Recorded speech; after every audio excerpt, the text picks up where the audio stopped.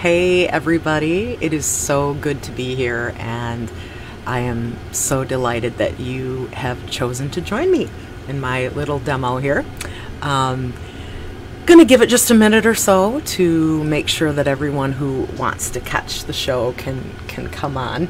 Um, I'm a little bit early, a minute early, so we'll see how that goes. um, I am really, hey Julie, hey! I have the setup good tonight. I can read comments, I can see myself, and I can see my hands. So I think I have all the bases covered. I don't have Patrick here with me tonight, so you know that's uh, I'm I'm lone I'm I'm a loner tonight. But well, just to tell you a little bit about who I am, um, in case you don't know, my name is Julie Benak, and I am the little business Fresh Lotus Design. And of course, it's a fiber business. So I wouldn't be here if it wasn't. But I also do a lot of different things that do not, uh, that are not specifically uh, knitting, crocheting related that way. I also do a lot of sewing. So what that with that in mind, what I've always wanted to do is try to find ways to combine fiber art with sewing. So that's what I'm going to attempt to show you some uh, some nice ideas for you to try here. And I'm not sure if if I have lost video or not. I I am getting errors. So if you if I'm still operating, that's great.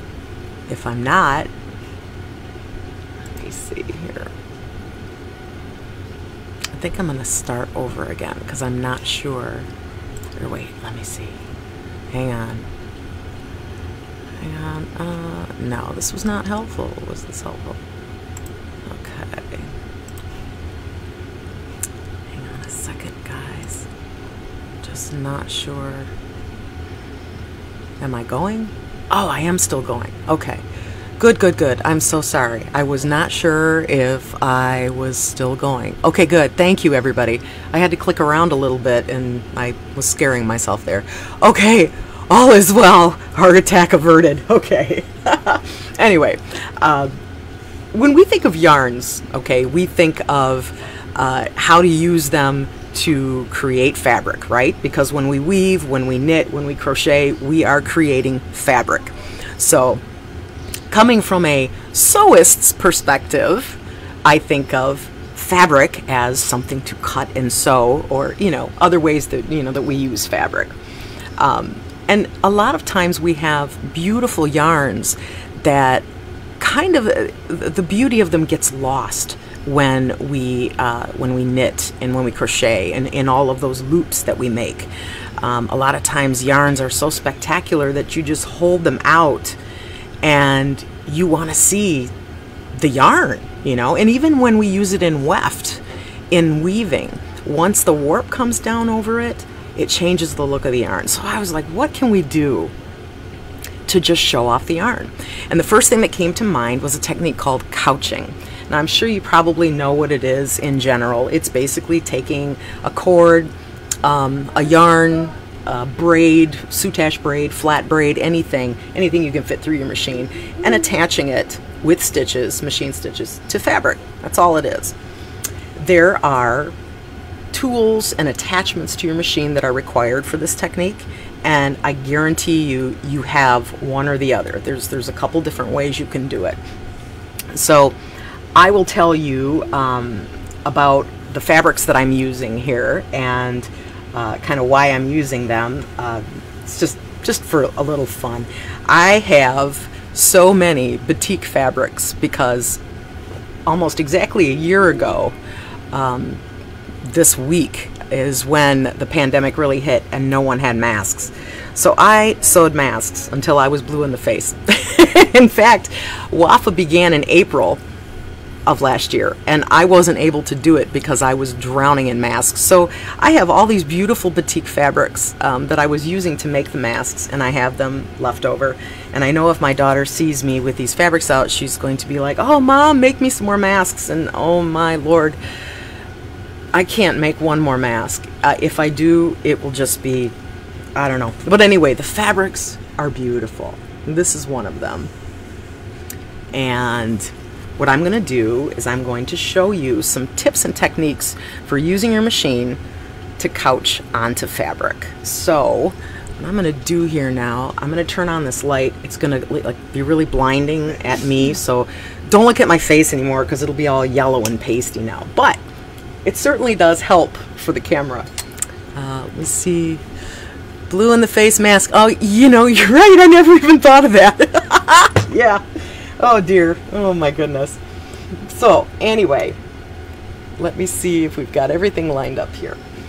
Now, when you're coaching, when you're couching by machine, um, there's a couple different ways you can do it, and each of them requires a specific presser foot. Um, now, I know you guys have sewing machines in your closets. I know you have them. I know you may be afraid of them, but I said to myself, if one person is inspired tonight to get out their sewing machine and try this, that will be wonderful. I will feel, I will be thrilled. Um, this is not a technique for a brand new beginner sewer, okay? You don't have to be an expert either, all right? Just let me give you that much. The idea here is not to stitch a straight line. On the contrary, the idea is to be able to flow all over your fabric. And if you are a beginning sewer and you really, really, really want to do this technique, I am going to make a suggestion to you to remove your bobbin and remove your top thread and take a piece of paper and just put it through the machine with a presser foot but no thread in either top or bottom. And just start sewing and, and learn how your machine feels learn how it feeds uh, do some curves learn how learn what you do to rip up your paper if your paper starts ripping up you'll know that you know hey I need to I need to you know raise my presser foot or whatever we're gonna go over that but just a suggestion you know to try it out so the first way I'm going to show you how to do this is with a dedicated couching presser foot. Now most machines have these feet. You may or may not have them with your machine. So it's it's important to uh, to look through all your presser feet and see what you have. That's usually kind of like Christmas when uh, if you're a sewer, you know all those presser feet, they do all those cool things. But this is the foot. Okay, I'm to make sure that you guys can see it. The distinguishing factor of the couching foot is the hole that is right in front of the needle hole. This, this narrow slit here is the needle hole. This is the couching hole. this is the hole that you would put your trim, your yarn, your braid, whatever. This gets threaded through the hole and then your foot just glides, you just glides along on it. Now, the best way to get this started is to actually thread the yarn and your thread through the foot before the foot is put on the machine. So I'll show you what I'm talking about. And you know what? Let me get my let me get my fabric ready here. And what I'm going to do with this, when this fabric is done, I am going to um, I'm going to interface the back, give it some body, and then I will probably ooh, isn't that just send chills up your spine? Ah. I'm going to uh, interface the back of it, give it some body, and then I will be able to use it um, for uh, possibly a spinning bag, a um, e-spinner bag, um, an apron, or all kinds of all kinds of things. I might actually even use these as panels, decorative panels in the back, uh, the center back of some jackets that I'm doing. So there's all kinds of things you can do. So let's get it fabric on the right side here. Make sure you all can see everything. All right, so this is what we're doing. A deer batik, you're not going to be a mask. You should be happy. you're not going to be a mask. But if need be, of course, we'll sew masks until doomsday. Let's hope we don't have to. So first thing I'm going to do is I'm threading in the yarn into the hole from front to back. You want your yarn coming out the back of the foot, okay? And then I'm going to take the top thread and I'm also going to put that into the foot. The only reason I'm doing this is because this foot is not open in the center so for you to be able to just tuck the thread around it. So it would be kind of difficult to, to get your thread under there. It's not a big deal, but that just makes it a little easier. And then we're going to put the foot onto the machine. Now, just to give you a little bit of word about my sewing machine so that you don't think that I have something, you know, you know, super duper. It's it's not, okay? It is an industrial machine, but it is very basic. In fact, I have the same machine with all the same stitches, all the same features in a um, just a portable version. Um, it's a Bernina. I love my Berninas. Um, but any brand of sewing machine, you will be able to find one of these feet. Now, the problem with this foot, and I'm sure you guys already know, and you're already you're like, oh, I know, I know. The problem is the size of the hole dictates the size of the yarn you can use. Now, of course, this is this is a a lovely uh, silk two ply that I spun a few weeks ago. It's perfect for this, but I have other yarns, and I'm sure you guys have other yarns, and you spin other yarns that are like, wow, way big. Well, we're going to get to that, but we're not going to be able to use this foot for those. So, first off, let's try this because this is really impressive. It goes really fast, and, and it's, you know, it's really cool. The other foot takes a little bit of practice, and I will show you, though, how to do it. So, getting started here, my foot does not, or my machine does not have a lot of clearance between the foot and the plate, and that bothers me, but I've just learned to work with it, I guess. And make sure you guys can see.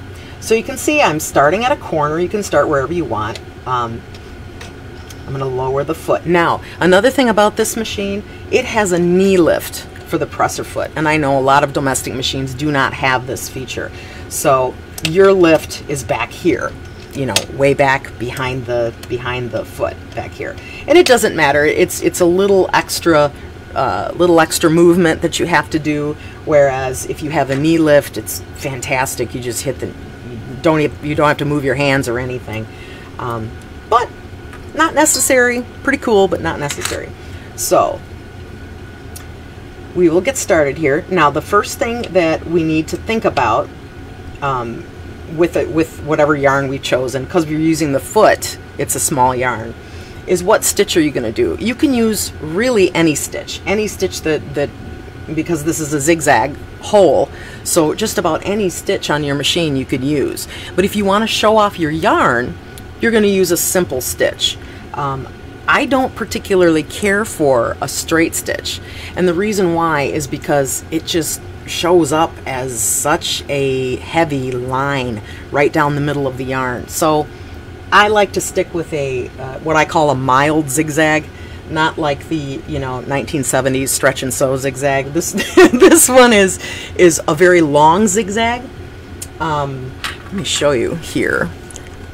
Oh, I have to give it away. I'm gonna have to show my other my other fabric. Oh well, you'll get to see it eventually.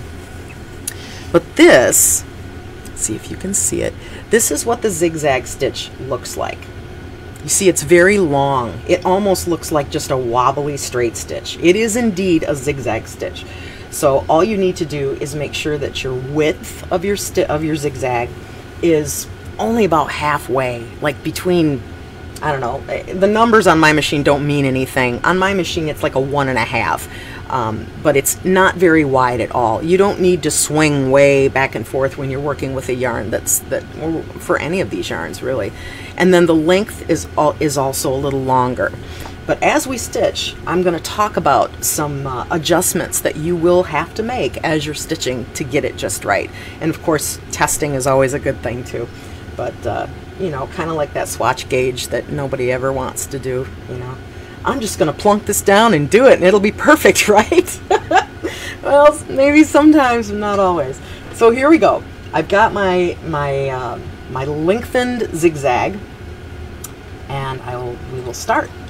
So, oh, and another thing too. I'm sorry, I keep teasing you guys. Make sure you start with a full bobbin always start with a full bobbin. I don't have the luxury of a little beeper thing to tell me when my bobbin is low. I just sew along forever and ever and realize that I've sewn nothing. So make sure you have a full bobbin. And, you know, I'm wondering if I actually took my own advice. Let's hope I have some thread in here. anyway, here we go. Now with the couching foot, you you can literally you don't have to you don't have to guide the yarn at all. I mean, it just, it just goes on.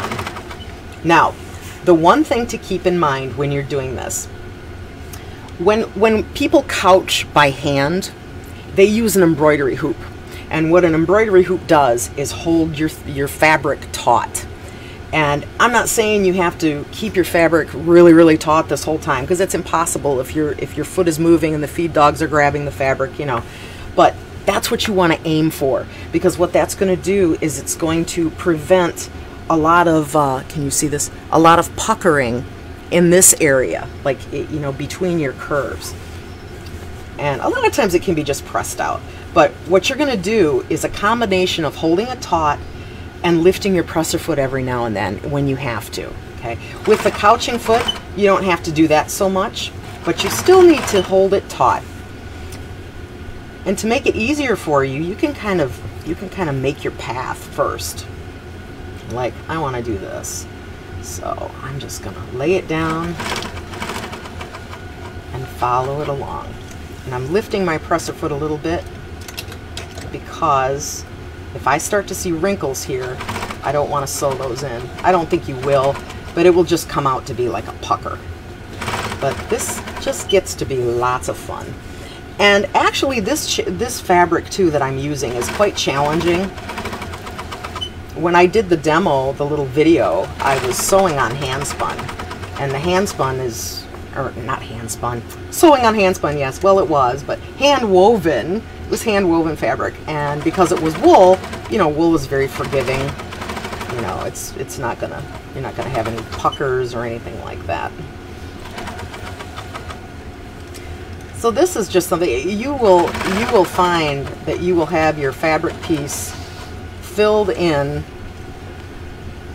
with yarn swirls and swoops before you know it. Oh, look at that. I ran out of bobbin thread. Are you kidding me?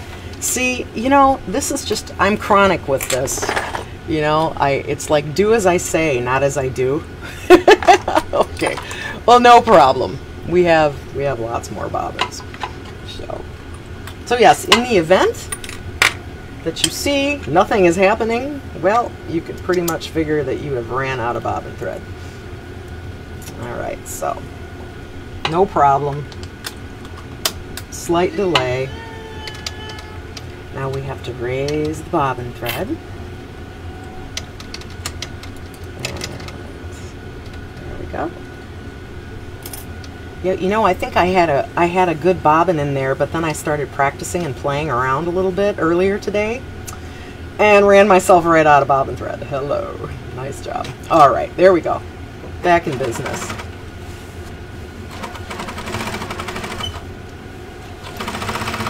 So this is all it is. And you can see I'm, I'm doing my best to keep the fabric taut. giving myself lots of slack here. Giving myself a path to go. And it's just fun. And when you have yarns that are this small and you have a dedicated couching foot, it just makes it a lot easier. But don't despair if you don't have a couching foot. It's no big deal. In fact, again, there's some yarns, there's a lot of yarns you can't even use a couching foot with. So, what do you do then? I'll show you. And I'm also going to uh, tell you about another presser foot that I bought. Was kind of excited about, but oh, buyer beware. I'll tell you about that too. But anyway, let me see. Bobbin. Oh, that is the, the bobbin is the thread that is on the underside. Sewing machine has a top thread and a bobbin thread. And it's funny because my boss at work and I, we talk about, we talk about it lots of times.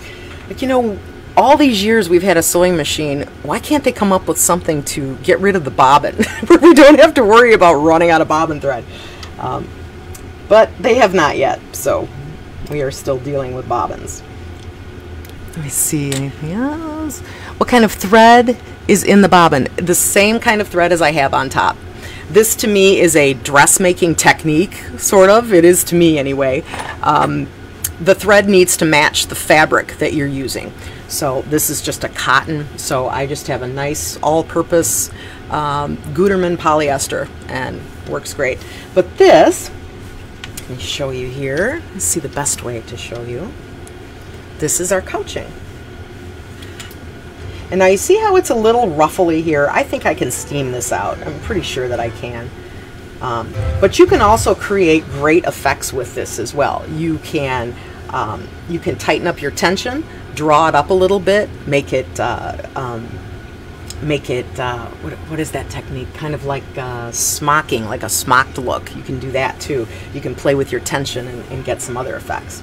But you can see that all of the yarn is visible the the color changes in the well you wouldn't be able to see that too well in here but the color changes you you're able to see if you're working with lumps and bumps and and glitz and sparklies you'll be able to see all of that. It's laid out on the fabric just just like a like a showcase. It just it really showcases the yarn. But I know you all are thinking what what do you do? What do you do when you have yarns that are thicker and a lot of our yarns are thicker. I, I don't know if you guys saw the video I put up. I got this yarn finished and it is so beautiful. But what if you have a yarn like this? You know I mean these every strand is different. Every strand is, has a different texture different color. What if you really want to show something like this off? Well you can. It's a little bit different. It's just another presser foot that you're going to use and it requires a little bit more control on your part.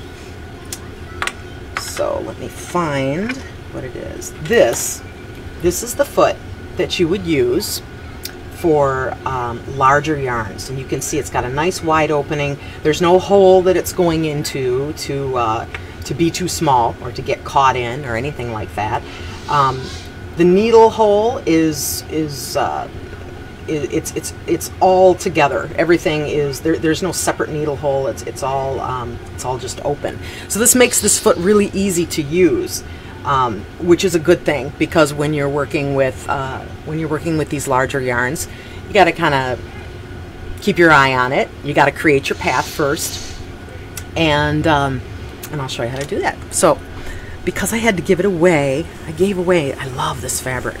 This fabric was just gorgeous. Can you see this? Oh. And I get, I always got my batiks from Lun Fabrics, by the way. They they make the best batiks. They're just they're just hands down artisan fabrics. They're just incredible. But this is a BFL uh, core spun yarn. I took these little tiny curly curly BFL locks and I spun them into this lumpy, bumpy arty, farty, beautiful yarn. It's so soft and gorgeous. And I thought, wouldn't it be cool to put something really swirly and organic on this sort of structured background? I thought it would be kind of, uh, kind of contrasting and cool. But I couldn't use the couching foot. There was no way. You know, now I have noticed that you can get some yarns in this couching foot that you really didn't expect that you could, but eh, you need to test because you can go along just fine and then hit a you know a larger bump in your yarn and then you're dragging it along the ply and and then it's you know it's just no good. So you're gonna take your oh what am I doing? Here's my camera. We're gonna take our open toe foot put it on and then see how it's it's open. We can just put our threads back like we always do. There's no we, you know there's nothing to worry about in your way there. And I think I'm, a, I'm going to, uh, I'm going to restart this because I want to show you from the beginning. And it doesn't really matter because I can overlap that and do it again. So, now just as if it had a hole in the front, we're gonna we're gonna put this under here like so. A little bit towards the back. Now when you're doing this, you can expect at least once or twice or Lord knows how many times, you can expect your toe, the toe of the foot, to get caught in a loop. And that's okay. Just just keep your eye on it. And, uh, oh, well, I messed that up, didn't I? Hang on, guys. One of these days, I'm going to get my sewing machine repairman to be able to lift this up a little bit. I just, I don't have a lot of clearance and I just really wish I did. So, all right. I have a full bobbin, so that's good. Oh, seriously? You stinker. All right, well, I'll just do it that way. No big deal.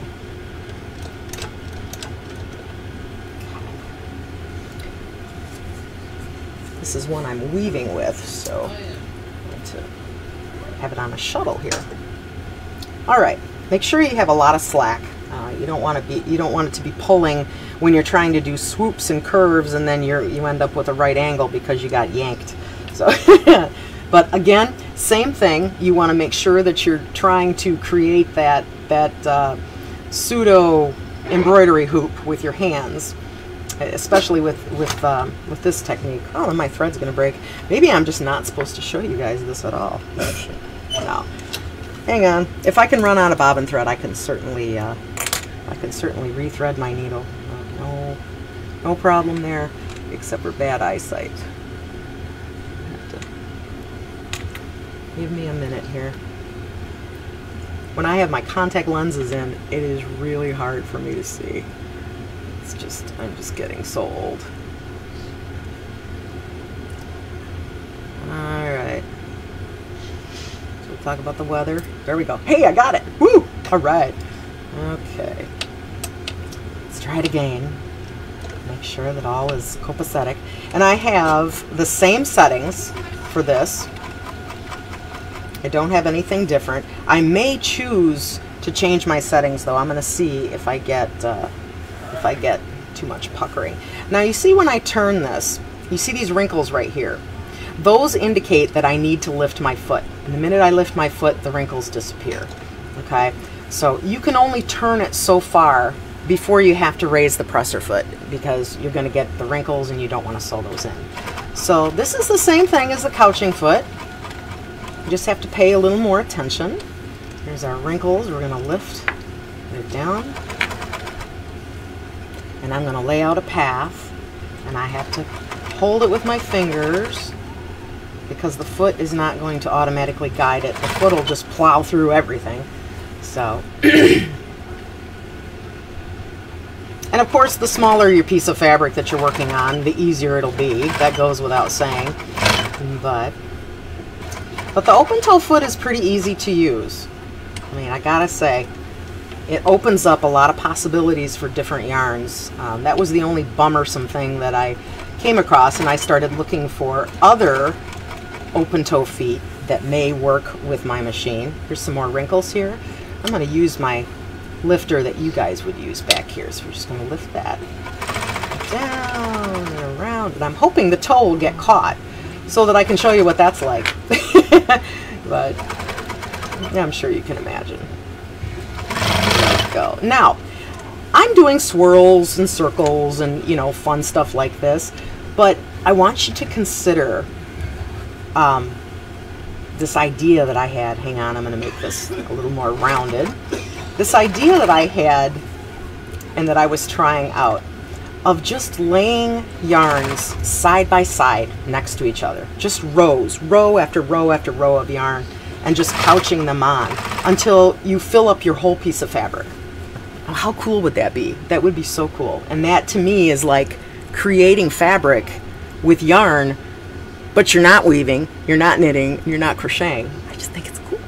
So, you know, other ideas. And you can do that too. I actually, uh, I took down a curtain in my daughter's room and she said, ah, you can throw that curtain away. I said, you know what? I am going to, uh, I'm going to use it. And I just did row after row on it. I threw it away. I wish I wouldn't have thrown it away, but it was really cool uh, let's see, what is this open foot called? It is usually considered an open toe embroidery foot. And you can ask for an embroidery foot, but make sure that you say open toed because there's a million different embroidery feet, um, and the most common of which is a clear foot that is just exactly like a regular presser foot, but it's clear and it's not open toe. So the open toe is, is the important distinguishing factor about it. Uh, is the needle in the down position? Um, right now, it is. And when you want to lift your presser foot and turn it, it's better if your needle is in the down position. But if you're really careful, it, it doesn't have to be. And you can just you can just keep going, just keep buzzing around without having to you know mess with that. Can you crisscross a row that has already been sewn on? Oh yes, you can. Let me tell you, I I have this jacket that I wove three years ago. Still waiting to put it together. Uh, you know, I was just to the point of putting it together, I'm like, you know what? I'm gonna couch on this, just you know, to procrastination, you know. Um, and I am actually now gonna go back because I used this green. I'll show you it. Um, it's really pretty. Uh, I used the green, and I think I'm gonna go back with some pink and I'm going to do like a nice row of pink right over. Oh yeah, as long as it fits under your needle, you can sew it. It doesn't matter, which is kind of cool because you can get some really cool effects with, you know, different colors, different designs, you know. So, and I'm really pleased with the open toe foot. Uh, I was disappointed, you know, when the couching foot had such a teeny tiny hole, but this is this is fine. I, I don't uh, I don't need the hole. I just need an opening in the front of the foot. It works fine. And again, the heavier the fabric that you're couching on, if you're not couching on a lightweight cotton like this, it just it's very smooth and flat and it, it just looks it, it always looks great but I especially like it when um, when I've got some heavier fabric I'm working with but this will be cool. After I do this, like I said, I'm going to apply interfacing to the back of this to give it body, make it heavier, and then I'll be able to do more with the fabric. So I think it's cool when you um, when you're thinking about yarns as decorations and as trim. Uh, I, I remember being just really I, I just thought it was the coolest thing. It, it, wasn't rocket science, but when I saw um, when I saw a hand a hand spinning artist sell her yarn by the yard or by the foot even it, because it was amazing. And you know it's like you wouldn't buy a whole skein of it. You would want you know five yards of it or three yards of it or whatever. And then you could do this kind of thing. I mean it just it just seems to me like a like a really cool idea. I don't think I'm set, going to be set up for my first in-person show in order to do to do that, but maybe someday. Someday I'll sell yarn by the yard when I when I feel like it is deservedly so. It is. I mean, my yarns are. I like my yarns, but some some spinners' yarns are just they just blow mine away. Like wow.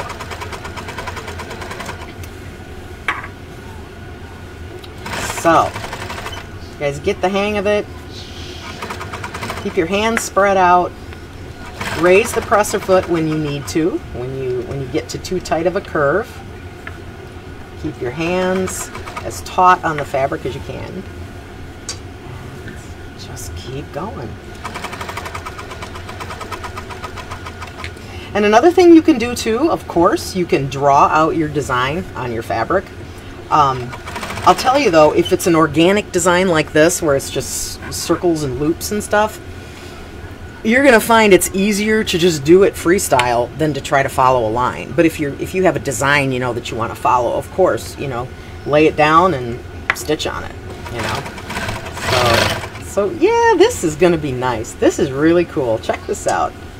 Look at that. Now, yes, stitching the yarns flattens it out a little bit, but but even look at look at the um, look at the cool things that are happening, you know, with these bubbly parts. I mean, when you flatten them out, they look cool this way too. So I'm I'm I'm digging this. I'm gonna keep going with this. This is this is not a failed experiment. Woohoo! but you know, you got to have a few failures before you you know you have you have. Uh, oh, there's something in front of the. Oh my goodness! I'm sorry. Wait, what is it? No, it's not this. Oh, it's the light. There we go. Sorry about that. There. Doggone it. Here, maybe I need it up higher. There we go. Thank you. Thank thank you. I appreciate it. Yes, thank you. Only couch foot I knew of before tonight was one of the three. the couch I'm sitting on. Yes, this is. You know, I was thought I would be all, um, all, you know, hokey and weird and be like, couching. It's not just for couch potatoes. Yeah, well, I don't know where the word comes from. It, it doesn't really describe the technique. You know, with any, I don't know. What do I know? It's probably some historical, you know, uh, related thing. But one last thing I would like to tell you guys, and I'm going to show you uh, just as fair warning. I'm going to just, think I'm going to stop right here so that I can come back to it and just continue my swirls. Um, but I am just going to cut the threads, but I'm not going to cut my yarn because I want to come back and do more, obviously. Now, I want to talk to you guys about these presser feet sets that you can buy that are really cheap and you get a whole bunch of presser feet and it looks like a great deal. Um, you just just be careful. Some machines, no problem. I you know, I actually have tried them. I even bought a Bernina shank adapter and it didn't work. And let me show you. Let me show you my buyer beware moment. Okay. Um, and I'm to take off this foot so you can see. So this was a foot that I bought and I thought this thing was just so cool. Okay, it's got this little, you see here, it's got this screw on it where I can pull pull this back. Okay, it broke. Well, all right, so don't unscrew the screw too hard or it'll just come undone. Anyway, what happens is, is it, uh, oh, I think it goes on the other way. But I did, it broke. I don't know. No biggie. I can't use it anyway. But it slides back and it made this opening really big. And I thought, oh, I can use this, you know, for uh, for larger yarns and still have a hole, you know, to to guide it. But the problem was, well, the problem is this. No, actually, it, it goes back together again, I think. The problem was when I looked closely at the foot, this screw was a dead giveaway. This is an adapter. This is not a genuine Bernina foot, obviously. It's not. So what happens is I put this foot on my machine and look at the difference in height. You see how much lower this one is? Let me get them, at least how much lower this one is. I mean, it's almost like a quarter of an inch difference. Now, what happens is, is remember me complaining about not having a lot of uh, clearance. I can't get anything underneath this foot. It just it sits so low to the machine, I can't use it. So it's twenty dollars wasted. So just be careful of that when you're when you're looking for generic um, uh, generic presser feet that are not your brand. Um, you know, sometimes they just don't work. Especially if you have a, a more specialized machine like a Viking or a uh, you know, Husqvarna or those those fancy schmancy embroidery do-it-all machines. Uh, you got to be careful. They they want you to use their proprietary feet, and there's a reason why. So it was kind of a bummer, but uh, but let me show you the um, the the piece to my jacket that I that I finished up.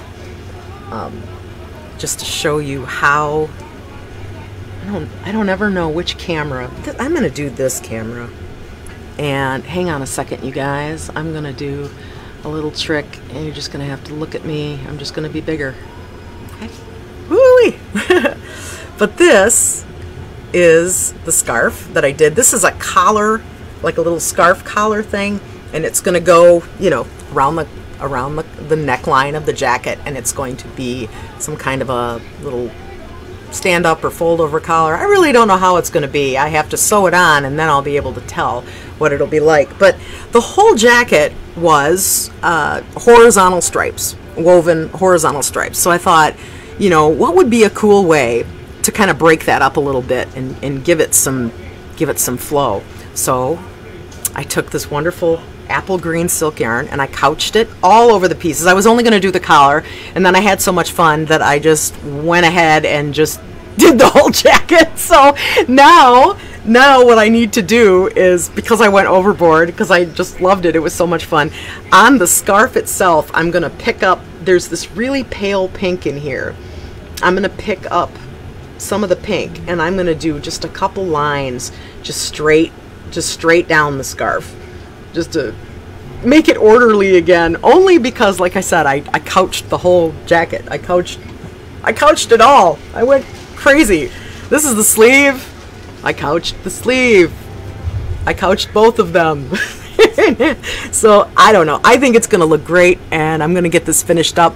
Our very first in-person show. Thank you Susie thank you Donna oh my gosh you're right Tony Ann oh my goodness I'm embarrassed I'm very French, and and yes, you're right. You're absolutely right.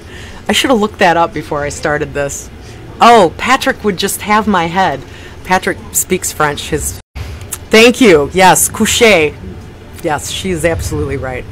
Subtle and pleasing. Thank you, Donna. I hope so. I, I went overboard. I thought, oh my lord, if this is going to scream, you know, person reacclimating to her sewing machine, you know, ah, look at this. But yes, so it turned out fantastic. And again, this kind of fabric, uh, this heavier weight, thicker fabric, oh geez, I, I could squish that into the machine, flip it around, make wrinkles. It, nothing happened to it. It just was flat as flat can be. So if you're a weaver, that's also something to think about. They're really great for uh, really great fabrics for couching. And if you're a knitter too, now you're going to have a little bit a little bit of a problem with knits and crochets. Well, crochet is just I think too thick, but it, you're dealing with stretch then. Um, so you'll have to be uh, a little more discerning in the designs that you choose. Um, you wouldn't want anything too swirly because uh, you would just, uh, well, yeah, you could. Why not? No limits. Yes, you can do swirly. You just have to make sure you, you keep the fabric as flat as you can. But what else? What else do I have to talk about? I mean, this was this was a lot of fun. Um, like I said, I know you guys have sewing machines. I know they're in there, and if even one person is inspired by this to get, haul out their machine and give it a try, I will be thrilled. And that that's uh, that is uh, that's all I have to say about that. But anyway, check it out, you guys. This is going to be beautiful. Um, I, I, I see. Oh, I'm showing you something that I don't have the camera on for. Oh, yeah. Go me. Let me see. I think I. Golly, did I. I think I just lost my other camera. Did I? I don't know. Sometimes technology escapes me. Maybe that's a sign from above that it is time to say goodnight. anyway, one more look. This is going to be beautiful. I turned the light off because it just it, glares so much. Let me try this one. That's a little better. But yeah, I love that. I think that is going to be really cool made up into oh, there's so many ideas. Like I'm working on e-spinner bags and I love taking really super unique fabrics. You can, fabrics can do all the work. You don't even have to be super creative. Just choose a cool fabric and you're good to go. But anyway, thank you so much for joining me. Um, don't forget, uh, we are going to be, Fresh Lotus Design is going to be on WAFA March 28th. That's Sunday at 4 o'clock. We were kind of a late add-in. I'm not sure if we're on the schedule yet, but um, I was really, really delighted. We had a lot going on, and I was able to sneak in a spot. There must have been a cancellation. I'm delighted. So, March 28th, 4 o'clock, we're going to be showing off some stuff that we are going to have at the Ann Arbor Fiber Fest, which is in April. So, you guys will get a sneak preview, and I hope to see you all then. And um, maybe, just maybe, one of these days I'll have that jacket done, and I will, I will show you. Don't hold your breath. it will get done, I swear. Thank you very much, and you guys have a wonderful night. Um, it was it was so much fun. Thank you. We'll see you later.